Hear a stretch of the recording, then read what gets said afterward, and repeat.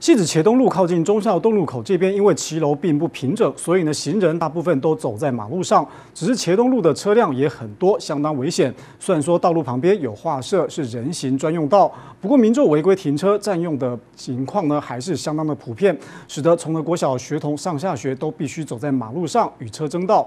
在这个月的区务会议当中，校长提出建议之后，二十号这天早上，相关单位人员就再度来到了现场进行了会勘。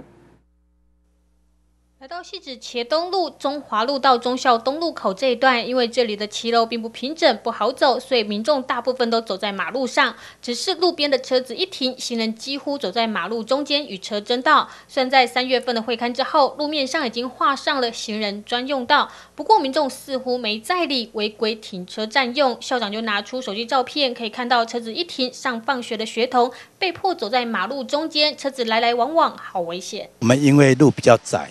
那学生在上放学的时候必须经过这一条路。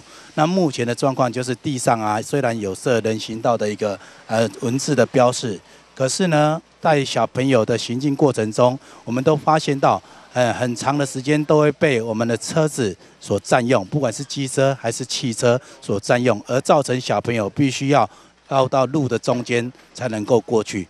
小朋友非常的多，那上下学的时候哈都要。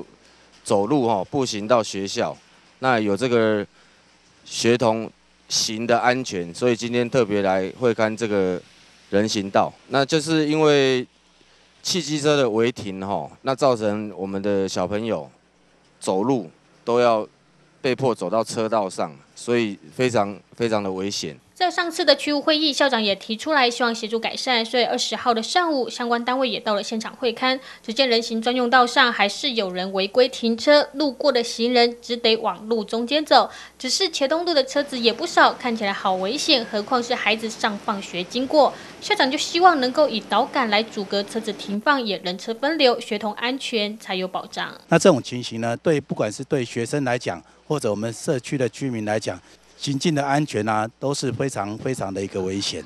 那我们也希望相关单位能够重视这个问题，能够让这样的一个路线，能够让这样的空间留给行人，留给学生。我们初步会分成两个阶段呐，第二阶段就是先设立加强脱掉的告示牌。那第二阶段我们看能不能设置这个车和人行的这个人行道和车道部分，用看用什么分方式把它做一个区隔，把它。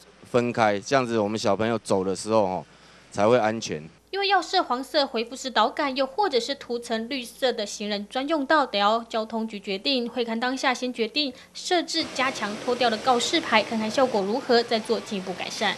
谢陈慧玲，细致采访报道。